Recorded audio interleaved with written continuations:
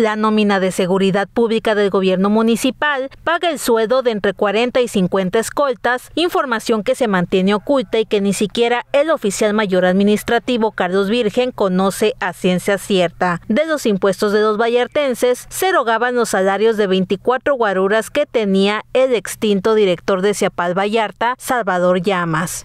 Había, había algunos, pero este, hace aproximadamente dos, dos semanas o tres semanas Sí, eh, me pidieron retirar dos, incluso el, el este, fallecido Salvador Llamas, sí, que los retirara de la nómina y están retirados. Necesitaría verificar si hay más, ¿verdad? Porque pues prácticamente yo no los identifico a todos, ¿verdad? Pero sí me pidió el dos, ¿verdad? En, vida. Yo he escuchado que argumentan a veces que 40.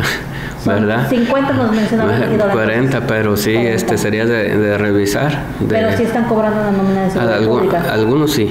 El contralor de Ciapal Vallarta, Gabriel Salcedo Ángulo, manifestó que en la nómina del organismo operador del agua no cobraba ninguno de los 24 escoltas, 12 por turno, que cuidaban todos los días al finado Salvador Llamas. En el tema de la nómina de Ciapal, había pura gente que es la operativa y administrativa, no había ningún elemento a cargo de la nómina del organismo. ¿Quién pagaba la nómina de esos escoltas? Eh, es un tema que no lo sé directamente, yo solamente sé que andaban con el director y no sé de dónde le pagaban a esas personas, pero aquí del organismo no era.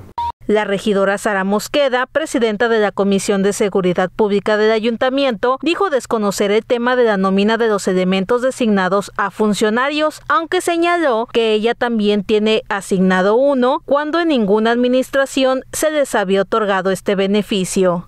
Yo no soy la que les da a firmar nóminas, dado que no soy el, nómina, así que sí desconozco, desconozco eh, del tema si están en seguridad o eran eh, aparte. Yo tengo una. ¿Una escota? ¿Ha recibido amenazas? Mm, no. ¿No? ¿Por qué tiene escotas entonces?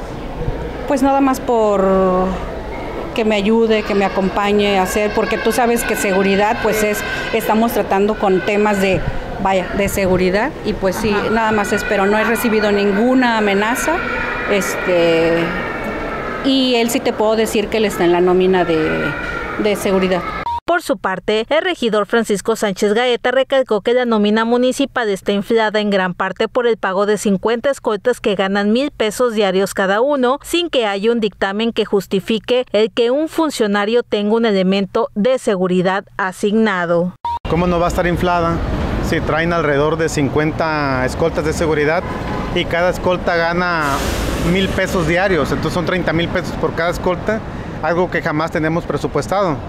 Y realmente para darle una escolta a una persona a una persona del ayuntamiento, pues se ocupa un dictamen y realmente no hay un dictamen. Parece ser que es algo la moda de la 4T, ¿no? Porque aquí en Vallarta desde que llegaron, desde campaña traen escoltas así jamás en otras administraciones. Yo me acuerdo de Arturo Dávalos que andaba solo caminando por las calles, así realmente no había nada de qué cuidarse.